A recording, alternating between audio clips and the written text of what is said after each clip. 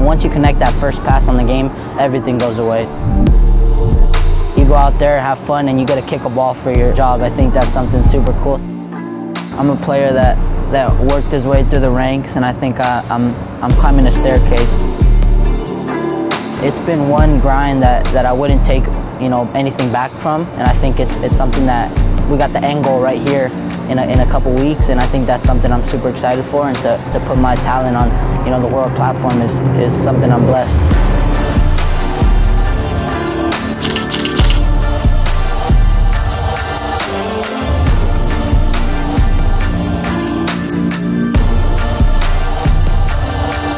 I think it's something that you're blessed for. You're not just representing yourself, you're representing the club and it's a representation of the, the country itself. So it's a, it's a very proud moment. That I'm not playing just for myself anymore, for my family, for my girlfriend. It's, it's for, you know, for my baby, for a new, for a new life, you know, and something that I got to take care of. And I think that's, that's just pure motivation for me in the future. And I think it's just going to make me work harder to perform the best I can so it gives me the best opportunities in my life and my future career. So that's it. That's about it.